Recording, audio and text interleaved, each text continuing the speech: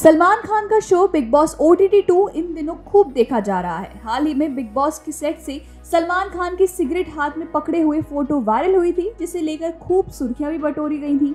हाल ही में वीकेंड का वार से सलमान खान गायब दिखे, जिसे लेकर अफवाहें फैलने लगी कि क्या सिगरेट पकड़े हुए उनकी तस्वीर लीक होने के बाद उन्होंने शो छोड़ने का फैसला किया है। बता दें कि 8 जुलाई को वीकेंड का वार एपिसोड की मेजबानी करते समय सलमान खान को कैमरे पर सिगरेट पकड़े हुए पकड़ा गया था। इसके तुरंत बाद उनकी तस्वीरें सोशल मीडिया पर लीक हो गई थी और एक बड़ी बहस छिड़ गई थी।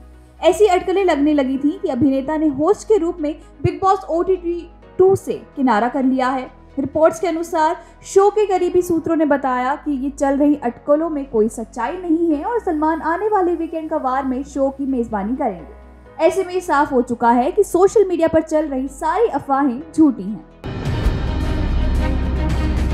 शाहरुख खान की आने वाली फ़िल्म डंकी पर नया अपडेट आया है, जिसका हिस्सा तापसी पन्नू भी है। हाल ही में तापसी पन्नू ने सोशल मीडिया पर आस्क मी एनीथिंग सेशन चलाया और इस दौरान डंकी पर खुलकर बात की।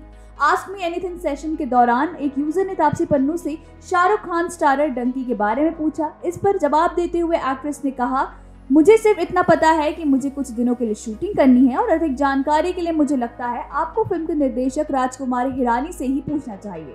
मुझे लगता है कि केवल वो ही जानते हैं कि वास्तव में क्या हो रहा है और पहला लुक कब आएगा और कुछ भी। मैं बस वहाँ जाकर शूटिंग करना चाहूँगी और वापस आना चाहूँगी और मुझे खुशी है कि मैं उस फ़िल्म का हिस्सा हूँ। दीपिका पादुकोण और प्रभास की आने वाली फ़िल्म प्रोजेक्ट के का फैंस बेसब्री से इंतज़ार कर रहे हैं। इसी बीच अब प्रोजेक्ट के का बिलबोर्ड पर प्रदर्शित होने वाला वीडियो सोशल मीडिया पर वायरल भी हो गया है। इतना ही नहीं रातों रात मेकर्स ने एक्ट्रेस दीपिका पादुकोण का फ़र्स्ट लुक पोस्टर भी जारी कर दिया है। बता दें कि प्रोडक्शन हाउस की ओर से ऐलान किया गया था कि सोमवार को शाम पाँच बजे पोस्टर रिलीज़ किया जाएगा, लेकिन शाम को रिलीज़ नहीं हुआ। आखिरकार मेकर्स ने बड़ा सरप्राइज़ देते हुए सोमवार देर रात दीपिका का फ़र्स्ट लुक साझा कर दिया। रिलीज़ हुए इस पोस्टर में दीपिका इंटेंस लुक में नज़र आ रही हैं और किसी चीज़ को घूर रही हैं। इसके साथ कैप्शन में लिखा है, बेहतर कल के लिए एक उम्मीद जगी है। ये प्रोजेक्ट के से दीपिका पादुकोण है। पहली झलक 20 जुलाई अमेरिका और 21 जुलाई भारत में। बता दें कि फैंस को भी अभिनेत्री का ये लुक काफ़ी पसंद आ रहा है। बॉलीवुड के स्टार एक्टर कार्तिक आर्यन की फ़िल्म सत्य प्रेम की कथा हाल ही में रिलीज़ हुई। इस मूवी में उनके साथ कियारा आडवाणी भी नज़र आई एक बार फिर से कार्तिक और कियारा की जोड़ी हिट साबित हुई। बॉक्स ऑफ़िस पर सत्य प्रेम की कथा काफ़ी अच्छा परफॉर्म भी कर रही है।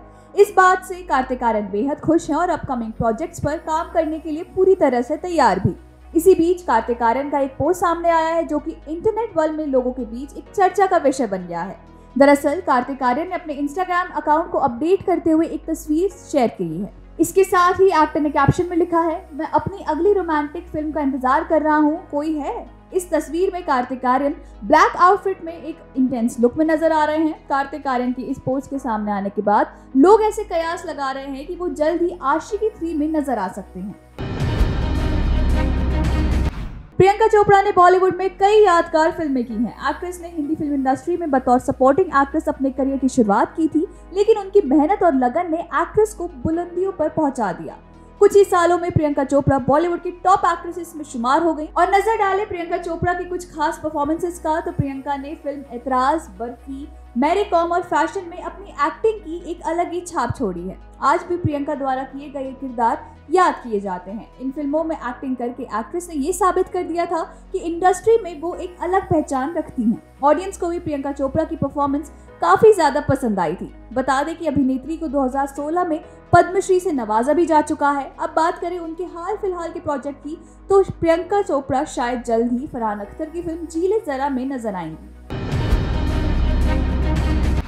बॉलीवुड इंडस्ट्री की पंगा क्वीन यानी कि कंगना रनौत, अपने बेहतरीन किरदार से दर्शकों का मनोरंजन करती और उनका दिल जीतती नज़र आती हैं। एक्ट्रेस इन दिनों अपनी फ़िल्म इमरजेंसी को लेकर सुर्खियों में है। इसके साथ ही कंगना की एक और अपकमिंग फ़िल्म पर बड़ा अपडेट आया है, जिसमें साउथ सुपरस्टार विजय सेतुपति के जुड़ने की जानकारी सामने आ रही है। इस खबर के सामने आते ही सोशल मीडिया पर प्रतिक्रियाओं की लड़ी लग चुकी है। रिपोर्ट्स की माने तो इमरजेंसी के बाद कंगना रनौत साउथ स्टार विजय सेतुपति के साथ एक फ़िल्म में सहयोग करेंगी। हालाँकि, अभी तक इन खबरों की आधिकारिक पुष्टि तो नहीं हो सकी है, लेकिन इस वायरल न्यूज़ ने सोशल मीडिया पर चर्चाओं का बाज़ार गर्म कर दिया है। नेटिजन्स ने इंटरनेट पर खोज की है और उन्हें एक मनोवैज्ञानिक थ्रिलर का पोस्टर मिला है, जो कि अब सोशल मीडिया पर भी वायरल हो रहा है। साउथ सुपरस्टार प्रभास की upcoming film Salaar part one ceasefire से फ़ैन समेत मेकर्स को भी काफ़ी उम्मीदें हैं। मूवी दुनिया भर में 5000 से अधिक स्थानों पर रिलीज़ होने वाली है। इस फ़िल्म को लेकर चर्चाओं का बाज़ार भी गर्म है। साथ ही इससे जुड़ा हर एक अपडेट हेडलाइन का हिस्सा बन रहा है। वहीं प्रभास की इस आने वाली फ़िल्म को लेकर एक बड़ी खबर सामने आ रही है। सालार की विदेशी वितरण कंपनियों में से एक प्रत्यंगिरी सिनेमाज ने ट्विटर पर घोषणा की कि प्रभास स्टारर फ़िल्म उत्तरी अमेरिका में उन्नीस से अधिक स्क्रीन पर रिलीज़ होगी, जो एक भारतीय फ़िल्म के लिए रिकॉर्ड संख्या है। फ़िल्म संबंधित इस ट्वीट को प्रभास ने भी साझा किया है, जिसमें लिखा है बॉक्स ऑफ़िस बुलडोजर को हमारी ओर से एक भव्य सलाम। उस व्यक्ति के जन्मदिन वर्ष को उन स्थानों के साथ चिन्हित करने हुए हम उत्तरी अमेरिका में इसे रिलीज़ कर रहे हैं। उन्नीस स्थान, किसी भी भारतीय फ़िल्म के लिए सर्वकालीन रिकॉर्ड रिलीज़ बता दें कि फ़िल्म का प्रीमियर 27 सितंबर को अमेरिका में होगा। बॉलीवुड के खिलाड़ी कुमार, यानी कि अक्षय कुमार की film oh my God two इन दिनों काफ़ी चर्चा बटोर रही है। हाल ही में इस फ़िल्म का टीजर रिलीज़ हुआ जिसे लोग काफ़ी पसंद भी कर रहे हैं। हालाँकि कुछ लोग इस मूवी का जमकर विरोध भी करते नज़र आ रहे हैं। टीजर को देखने के बाद कुछ लोगों की भावनाएँ आहत हो गई इसे देखते हुए फ़िलहाल सेंसर बोर्ड ने इस मूवी की रिलीज़ पर रोक लगा दी है। इसी बीच ओ माई गॉड टू का पहला गाना ऊँची ऊँची वादी रिलीज़ हो गया है, जो कि इंटरनेट पर लोगों के बीच चर्चा का विषय बन गया है। अक्षय कुमार ने बीते दिन ओ माई गॉड टू का पहला गाना ऊँची ऊँची वादी का टीजर अपने सोशल मीडिया पर शेयर कर बताया था कि आज ये सॉन्ग रिलीज़ होने वाला है। इसी बीच ओ माई गॉड टू का ये गाना ऊँची ऊँची वादी यूट्यूब पर आउट हो चुका है। इस सॉन्ग में पंकज त्रिपाठी, भगवान शिव की भक्ति में लीन नज़र आ रहे हैं तो वही गाने में अक्षय कुमार का भी लुक देखने लायक है। पंजाबी और बॉलीवुड सिंगर रैपर बादशाह एक बार फिर सुर्खियों में है। दरअसल सोशल मीडिया पर उनका एक वीडियो वायरल हो रहा है, जिसमें दिखाया जा रहा है कि वो परफॉर्म करते हुए स्टेज से नीचे गिर गए। अब इस वीडियो पर सिंगर ने अपनी सफ़ाई दी है। इस वीडियो में देख सकते हैं कि एक शख्स स्टेज पर परफॉर्म करता नज़र आ रहा है। ये शख्स ब्लैक टी शर्ट और मैचिंग शॉर्ट्स के साथ व्हाइट स्निकर्स में है। ये शख्स दिखने में हूबहू बादशाह जैसा ही दिख रहा है।